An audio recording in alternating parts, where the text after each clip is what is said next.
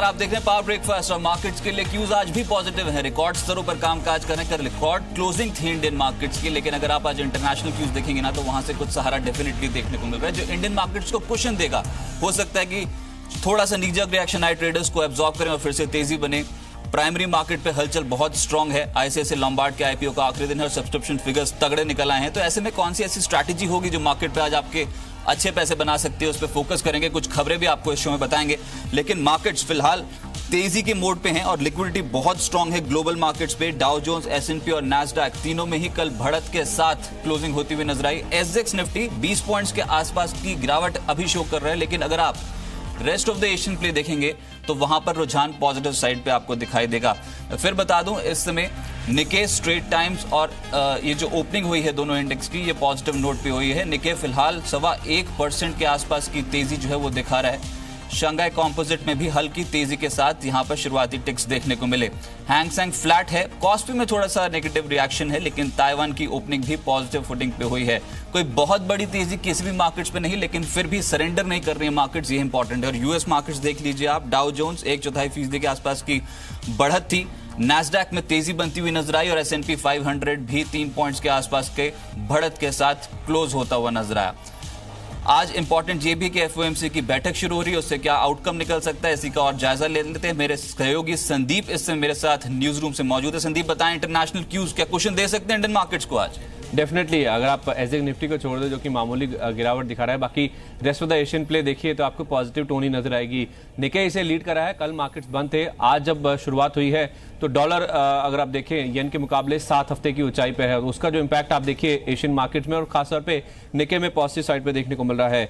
अब जो important trigger जैसे आपने कहा फेड की बैठक है, और उससे पहले अमेरिकन मार्केट फिर से रिकॉर्ड ऊंचाई पर बंद हुए, कल फिर से एक चौथाई परसेंट के आसपास ही गेंद से और फाइनेंशियल शेयर लीड करते हुए दिख रहे थे। देखिए, ब्याज दरों से कोई छेड़छाड़ होगी, ऐसा बाज़ार एक्सपेक्ट करके नहीं चल रहा है, लेकिन जो बॉन्ड बिकवाली होनी है, जो बॉन्ड अनवाइंडिंग जो बैलेंस शीट अनवाइंडिंग होनी है उनकी तरफ़ से, उसके ऊपर जो फैसला है, जो घोषणा है उसकी, वो और समय सीमा पर जो सफ़ाई है वो बाज़ार एक्सपेक्ट करके चल रहा है। देखिए, इस बार रेट हाइक नहीं होगा, क्योंकि अगर आप देखें, जो दो तूफ़ान आए थे यूएस में, उसके बाद आईआईपी के आंकड़े देखें, चाहे आप रिटेल बिक्री के आंकड़े देखें, उसमें कमज़ोरी है। तो इस बार हो सकता है कि ब्याज दरों के साथ कोई छेड़छाड़ ना हो, लेकिन इनकी जो पॉलिसी स्टैंड है, जिसमें जो बॉन्ड बिकवाली होनी है, उसको लेकर जो सफ़ाई का इंतज़ार है, वो बाज़ार काफ़ी कीनली वॉच कर रहा है। तो वो जो फैसला जब कल शाम को आएगा, उसका इंपैक्ट ग्लोबली मार्केट्स में देखने को मिलेगा। लेकिन आपको बता दें यूरोपियन मार्केट्स भी आधे परसेंट के आसपास ही गेंस लेके कल बंद हुए हैं, और फोकस में थे पोर्टुगल के मार्केट्स वहाँ पे फिर से उस देश को पाँच साल के बाद जो इन्वेस्टमेंट ग्रेड रेटिंग है, वापस दोबारा से मिली है। तो पॉजिटिव अगर आप देखिए संकेत चौतरफा देखने को मिल रहे हैं, और यही कारण है कि आप जैसे पूछ रहे हैं कि क्या एक मोमेंटम मिलेगा इंडियन मार्केट्स को डेफिनेटली देखने को मिल सकता है। चलिए, लेकिन ऑलरेडी तेज़ी बन चुकी है। ये भी कहीं ना कहीं नोट कीजिए आप, क्योंकि बहुत स्ट्रॉन्ग मोमेंटम में है। अपने अगर ट्रेड्स पॉजिटिव साइड पे बनाते हैं तो स्ट्रिक्टली स्टॉप लॉसेस के साथ बनाइए। ब्रिजेश सिंह जी मेरे साथ से मौजूद हैं, तकनीकी विशेषज्ञ हैं। एफ़ की कल के सत्र में छियानवे करोड़ की खरीदारी की फिगर है। और पिछले दो ट्रेडिंग सेशन से माइनर खरीदारी है इन लेवल्स पे और डीआईएस की 775 करोड़ के आसपास की खरीदारी यहाँ पर निकल के आई है। आ, साथ ही साथ आज अगर आप ट्रेड बनाते हैं तो देखिए कंसेंसस है जो हमने ज़्यादातर ब्रोकर से पूछने की कोशिश की है। वो निफ्टी का लक्ष्य 10,230, 10,240 लेकर चल रहे हैं। 10,110 का एक स्ट्रिक्ट स्टॉप लॉस अपने ट्रेड पे फॉलो कीजिए इंटरनेशनल क्यूज सपोर्ट कर रहे हैं। निफ्टी बैंक अगर आप तेज़ी बनाते हैं तो 25,200 तक के टारगेट्स अप्रोच करें। 24,970 का एक स्टॉप लॉस लगाना होगा और फोकस में है banking pharma consumer durable shares साथ ही टायर में जिस तरीके की तेज़ी पिछले सत्र में बनी ऑटो एंट्री प्ले बहुत मज़बूत है। यही कुछ ऐसी पॉकेट्स जहाँ पर तेज़ी बढ़ सकती है। मेटल स्टॉक्स और कॉमोडिटी रिलेटेड स्टॉक्स में भी इस समय तेज़ी देखने को मिल रही है। और प्राइमरी मार्केट जैसे मैं बार बार कह रहा हूँ आईसीसी लॉम्बार्ड के सब्सक्रिप्शन फिगर्स बहुत स्ट्रांग हैं। ब्रिजेश जी, नमस्कार, स्वागत है आपका। सब मार्केट्स पे अप्रोच आज के दिन की रणनीति बताएँ। गुड मॉर्निंग रजत जी जिस हिसाब से मार्केट ने कल के सत्र में एक नया फिडविक टॉप या ऑल टाइम टॉप बनाया है तो वो इंडिकेट तो यही कर रहा है कि ये मोमेंटम ऐसे ही बरकरार रहेगा। अब क्योंकि नीचे के जो स्तर है 9700 या 9800 या 9900 वो एक बेस बनते हुए जा रहे हैं और अब जो फ्रेश बेस है वो लगभग दस हज़ार का मान के चलेगी। जब तक दस हज़ार ब्रेक नहीं करता है तो तब एक बाई ऑन डिप की स्ट्रेटेजी लेके चलेंगे। तो निफ्टी लगभग दस हज़ार एक सौ तीस के आसपास में अगर मिलता है तो एक बार बाई करने की सलाह रहेगी। ये स्पॉट्स के लेवल में को लेकर चल रहा हूँ। और दस हज़ार सौ का हम स्टॉप लॉस लेके चलेंगे। और मेरा मानना ये है कि दस हज़ार एक सौ नब्बे या दस हज़ार दो सौ तक के लेवल ये एक से दो ट्रेडिंग सेशन में अचीव हो जाने चाहिए। और जब टाइम साइकिल सीरीज़ के हिसाब से अगर हम बात करें तो हो सकता है कि लास्ट वीक ऑफ़ सितंबर या सेकंड वीक ऑफ़ अक्टूबर निफ्टी एक बार दस हज़ार चार सौ या दस हज़ार चार सौ पचास को टच करने की कोशिश करेगा। अच्छा आप बहुत बड़ी कोई बिकवाली एक्सपेक्ट नहीं कर रहे हैं। आप बोल रहे हैं दस हज़ार एक सौ का स्ट्रिक्ट स्टॉप लॉस लगाइए दस हज़ार एक सौ नब्बे तक के टारगेट्स और मिड टर्म में तो आप और भी बेहतर टारगेट्स लेकर चल रहे हैं। तो स्टॉक जो मार्केट को आउट परफॉर्म कर जाएँगे सर वो नोट डाउन करवा दीजिए दो ऐसे स्टॉक्स जो आपके रडार पर है। देखिए जैसे अभी आप बात कर रहे थे कि ऑटो सेक्टर है बैंकिंग है फाइनेंशियल है ये, ये सब धीरे धीरे सेक्टर वाइज आप सब आउट परफॉर्म ही कर रहे हैं। अब उसमें जो जो दो स्टॉक्स मेरे को जो नज़र आए हैं चार्ट पे जो बेहतरीन चल, चल सकते हैं वो उसमें एक M S S L M X financial service है। लगभग 630 के आसपास में बंद हुआ है। मौजूद सर पर बाई करने की सलाह रहेगी या कोई डिप आता है 625 के आसपास भी बाई कर सकते हैं। 615 का स्टॉप लॉस लेके चल रहे हैं और मेरा मानना यह है एक से दो ट्रेडिंग सेशन के लिए आते छह सौ पचपन छह सौ सात के लेवल निकल के आते हैं। और अगर किसी का भी पंद्रह दिन का है तो सात सौ पच्चीस के भी टारगेट आपको देखने को मिलते हैं। और जो दूसरा स्टॉक चार्ट पे अच्छा लग रहा है बेहतरीन जो कि मैं आपके शोज़ पे मैं लगभग दो तीन महीने पहले से बोलता चला रहा हूँ वो बाटा है। हम्म। सात सौ उनतीस के आसपास में बंद हुआ है। कल के सत्र में एक नया फिफ्टी वीक टॉप भी बनाया सात सौ पच्चीस पर बाई करने की सलाह रहेगी।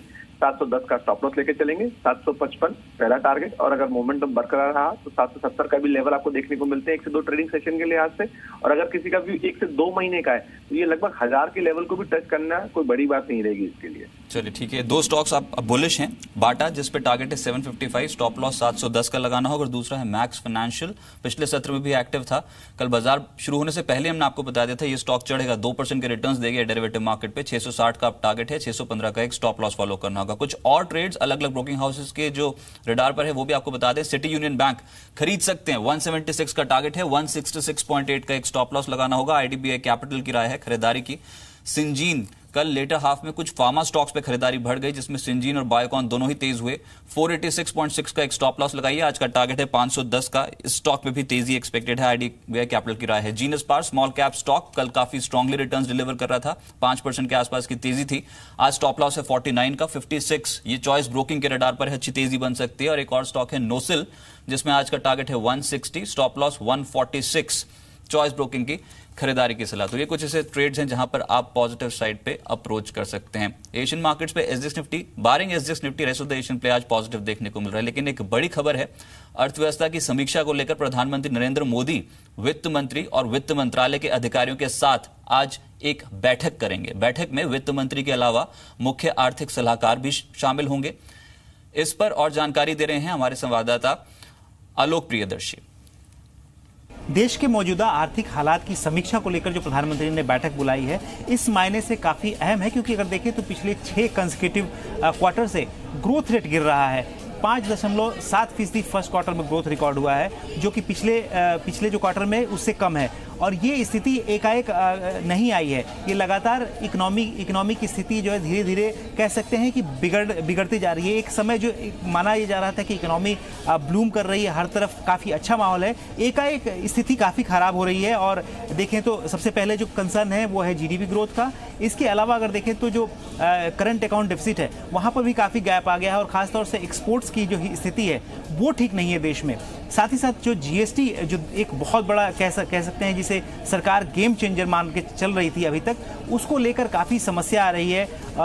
टेक्निकल दिक्कतें अपनी जगह हैं व्यापारियों की दिक्कतें अपनी जगह हैं लेकिन साथ ही साथ जो रेवेन्यू का जो इशू है करीब जो सरकार ने कहा था कि जीएसटी से करीब नब्बे नब्बे छियानवे हज़ार करोड़ का रेवेन्यू आया है लेकिन देखा यह जा रहा है कि उसमें जो इनपुट टैक्स क्रेडिट है उसको रिटर्न देने में ही सरकार के पास का, काफ़ी पैसे निकल जाएँगे करीब छप्पन सत्तावन हज़ार करोड़ रुपये निकल जाएगा और सरकार के पास कुछ खास बचेगा नहीं। तो ये भी एक बड़ा मुद्दा है और इसके अलावा अगर देखें तो जो पेट्रोलियम की कीमतें हैं लगातार धीरे धीरे बढ़ने बढ़ने की बात हो रही है और आने वाले जो विंटर सीज़न होता है अमूमन देखा जाता है कि क्रूड क्रूड जो है हमेशा हाई पे रहता है। तो ये भी एक अपने आप में अलार्मिंग सिचुएशन है और पेट्रोल डीजल की स्थिति को देखते हुए आप देख ही रहे हैं कि विपक्षी दलों की तरफ़ से और पूरे हर जगह से प्रेशर सरकार पर लगातार बनता जा रहा है। तो इन तमाम जो अभी आर्थिक हालात हैं इसको लेकर प्रधानमंत्री बैठक करेंगे और आगे का एक रोड मैप समझने की कोशिश करेंगे। या वित्त मंत्रालय के अधिकारियों से एक रोड मैप लेंगे जिससे कि जो ग्रोथ है ग्रोथ को बढ़ाया जा सकते हैं। और इस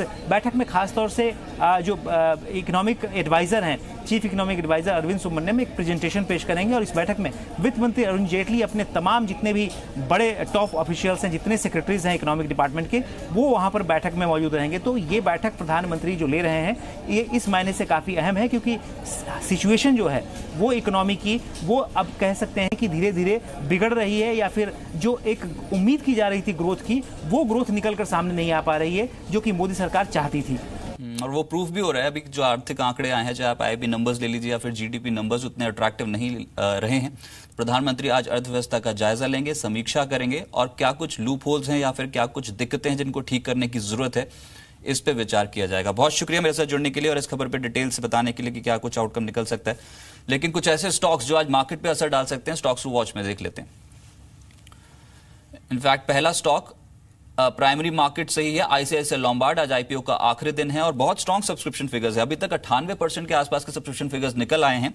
आईपीओ का प्राइस बैंड बता दो, छह से छह सौ इकसठ रुपए प्रति शेयर तय किया गया है।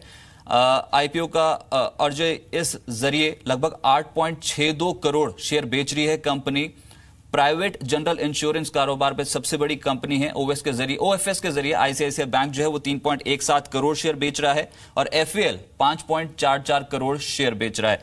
कुल मिलाकर 5,600 से 5,700 करोड़ के आसपास की रकम है जो कंपनी जुटाने जा रही है और ये सक्सेसफुल आईपीओ होगा क्योंकि अब 98 परसेंट सब्सक्राइब हो गया। अब तो ये देखना है कि ओवर सब्सक्रिप्शन फिगर्स यहाँ पर कितने निकल के आते हैं।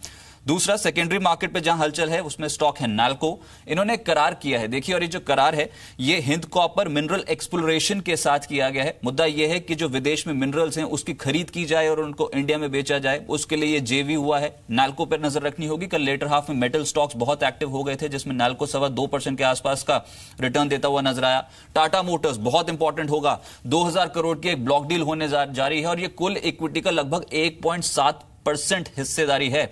ये बता दें, आपको टाटा सन्स एक चंक खरीद रहा है टाटा मोटर्स में, और उसके ज़रिए ये ब्लॉक डील के ज़रिए आज हो सकता है कि एक अहम डील हो जाए। 421.56 प्रति शेयर, मैक्सिमम इस भाव पे ये शेयर खरीद होगी। यानी कि जो पिछली क्लोजिंग थी, उससे लगभग चार परसेंट अपसाइड तो देखना होगा टाटा मोटर्स कैसे रिएक्ट करता है और पिछले कुछ दिनों में आपको याद होगा, अच्छे गेंस दिला चुका है टाटा मोटर्स तो ये ब्लॉक डील होने जा रही है, इस पर नज़र होगी। इसके अलावा भारत गियर्स इंपॉर्टेंट खबर है प्रमोटर को। तीन लाख का शेयर जारी करने की मंजूरी दी गई है बोर्ड की तरफ़ से और ये प्रेफरेंशियल शेयर के प्रेफरेंशियल बेसिस के आधार पर ये शेयर जारी होंगे। तो भारत गियर्स ये रिएक्ट कर सकता है। कल भी तीन परसेंट के आसपास की तेज़ी थी।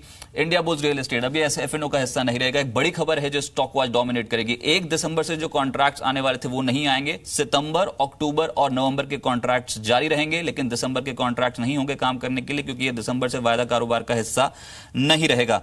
महिंद्रा लाइफ स्पेसिस पे भी एक इंपॉर्टेंट खबर है कि महिंद्रा लाइफ और आईएफसी के बीच करार हुआ है। इंडस्ट्रियल इंफ्रास्ट्रक्चर डेवलपमेंट के लिए करार किया गया है। आईएफसी आपको बता दें इंटरनेशनल फाइनेंस कॉर्पोरेशन है और आईएफसी की ओर से कुछ रकम इन्फ्यूज की जाएगी। कुल मिलाकर पाँच करोड़ यूएस डॉलर्स की रकम जो है, वो इस करार के तहत इन्फ्यूज की जाएगी। एक इंपॉर्टेंट खबर है महिंद्रा लाइफ स्पेसिस के लिए। और आखिरी खबर है एनएचपीसी के संदर्भ में दो प्लांट्स टीएलडीपी थ्री और फोर पावर स्टेशन जो उन पर काम दोबारा शुरू हुआ है।